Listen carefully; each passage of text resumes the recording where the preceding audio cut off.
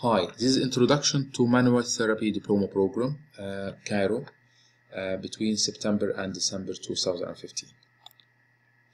Uh, the program aimed to um, help the participants to develop a range of practical and clinical reasoning skills. Uh, we'll try to introduce wide range of concepts and uh, in a very simple way, and will help you to use these concepts with your patients straight away. So um, part of the program is um, distance learning or self-managed uh, activities. These activities aims to help you to read a research and to be able to extract information from a research to apply for your patient. Teaching block one, um, we will cover uh, pain theories, what's the meaning of mechanical pain, inflammatory pain, why it's important to understand the difference between mechanical and inflammatory pain.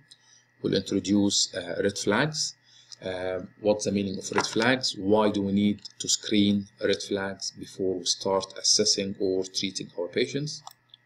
Uh, other objective of this uh, block is to apply wide range of assessment and treatment strategies. Uh, when we say wide range of assessment and treatment strategies, we mean different concepts including McKenzie, Maitland, Mulligan, neurodynamics, core stability, and others. We're not going to introduce names. We're going to introduce how these concepts can work together. How can we use all these concepts in order to maximize the treatment outcomes? Again, in a very simple way. Uh, at the same time, uh, it's not going to be just one tutor talking to participants in a very boring way. No, it will be mainly discussion, clinical application, and uh, in a small groups because we'll have uh, at least three teaching assistants during the program. Same thing will be in teaching block two with different tutor, uh, but we'll focus on lower quadrant, lumbar spine, sacroiliac joint, hip and knee joint. Um, this will be um, um, revision, but also revision of pain theories and red flags, but we'll try to, it will be mainly applicable to lumbar spine, sacroiliac joint, hip and knee uh, with details. Um, uh, again, working in small groups, uh, a lot of case studies and a lot of practical application. Uh, after you finish teaching block one and two, uh, we expect your clinical reasoning and handling skills to be much better. Here, this is the right time to introduce more advanced techniques. This including uh, manipulative techniques for the spine and also uh, give you time to think about the spine mechanics and uh, how we consider this information, this knowledge about spine mechanics in assessment and treatment of wide range of spinal conditions. Uh, finally, teaching block 4 um, will revise most of uh, the previous techniques, assessment and treatment techniques, uh, a lot of case studies. We'll look at uh, advanced rehabilitation programs, a new concept like core stability and proximal control. Um, and again, to be honest, this, this teaching block, it will be mainly about you to tell us what else you want to know. So uh, a lot of revision, a lot of practical application, and a lot of group work. At the end of this teaching block, there will be an MCQ uh, exam. Uh, it will be 50 MCQ questions. Uh, these questions, uh, each question will have one mark, uh, which means uh, the final, the total mark is 50. Um, there's a practical exam, which is maximum marks to be achieved at 30. And then for the distance learning activities, which are which are there are four tasks, for each task, it will have five marks. So the total marks for the whole program uh, examination is 100 marks. You have to achieve uh, 70 out of 100 to pass this program.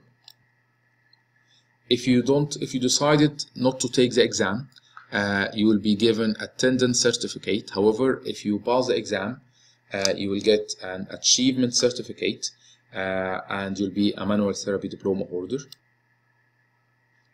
Now, very important question. Is this program is the right program for me? Uh, you have to ask yourself first, um, what's my current practice? Is my current practice is mainly electrotherapy and passive modalities and um, sometimes using exercises? uh, you have to ask yourself, do I have, um, do normally I stuck with my patients? So I don't know exactly if this pain is coming from cervical spine or shoulder.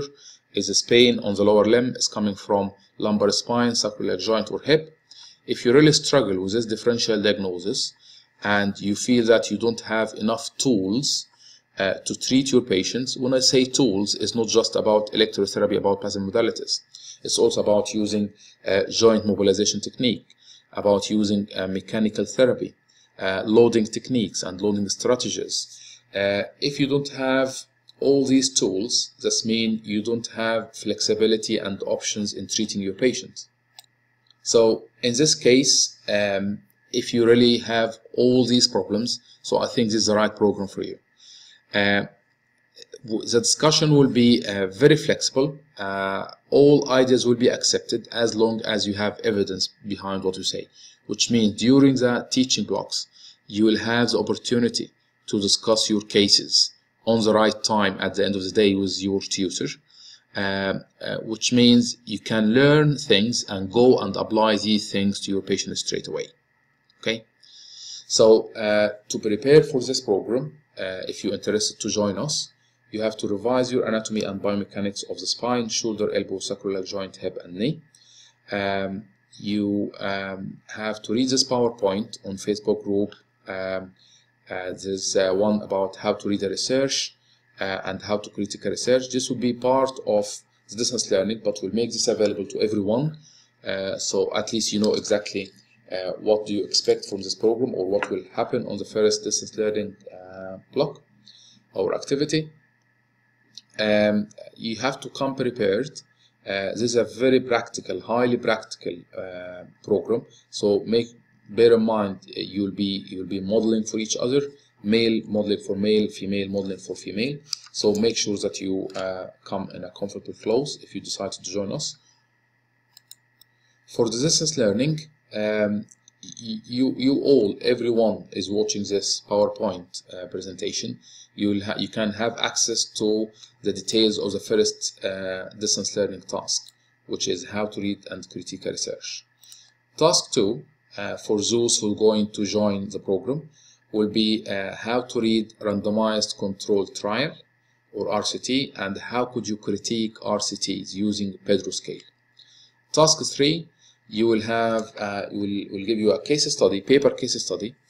Uh, you have to uh, think about subjective examination, objective examination, and treatment for this case study, and you have to video uh, yourself um, assessing and treating a model or a, or a real patient, and you have to submit this video presentation at the end, at the beginning of teaching block four. Uh, there is another case study related to cervical spine. For registration, uh, you can go to uh, our website, primephysio.com, for full details, or you can ring uh, this number for booking. Uh, if you have any question, uh, feel free to post your question on Prime Physio Group on Facebook, or you can email administration team from the contact us page on primephysio.com website. Thank you.